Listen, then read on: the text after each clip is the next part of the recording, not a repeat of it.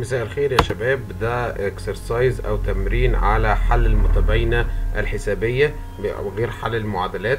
فعلى الرياضيات تانية إعدادي الترم الأول.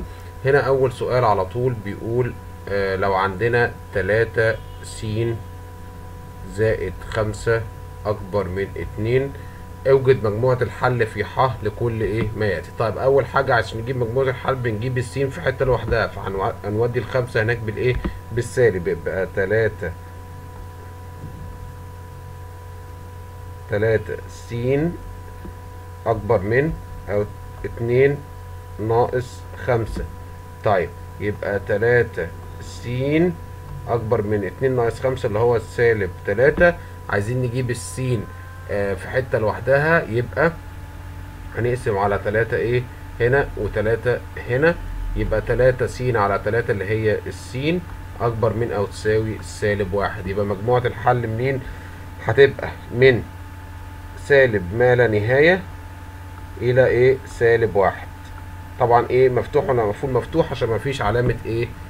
ايكوال أو علامة تساوي. تمام. تاني واحدة ناخدها هنا أهي.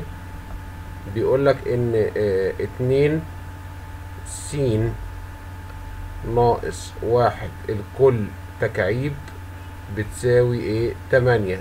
أوجد إيه؟ مجموعة الحل أو أوجد س تمام. أو أول حاجة آه عشان نقدر نجيب السين لوحدها هناخد الجذر التكعيبي للطرفين. طيب لما ناخد الجذر التكعيبي للطرف عشان نطير إيه؟ المكعب ده أو نطير الأس 3 دي. فإحنا هناخد إيه؟ الجذر التكعيبي للطرفين. معلش هو المفروض الناحية التانية أنا بس عشان متعود على الإنجليزي. معلش. أهو.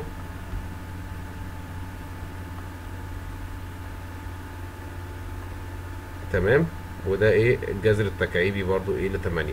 ده الجذر التكعيبي هياكل إيه؟ الأس 3 يبقى لك إيه؟ اتنين س ناقص واحد بس تمام؟ الجذر التكعيبي بتاع 8 اللي هو الاتنين.